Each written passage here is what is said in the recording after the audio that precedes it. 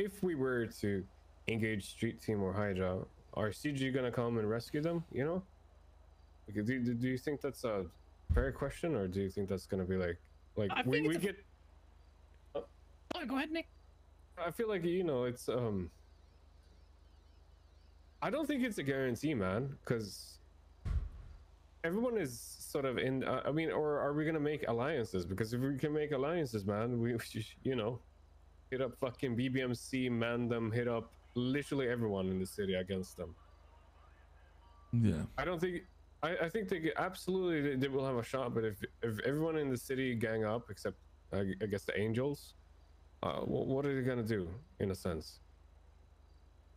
So One I thing is feel like sorry, it's, it's a politics game as well, right? CG, Well- yes, absolutely, they're allied with Hydra and Street Team, but they would also need to consider the the other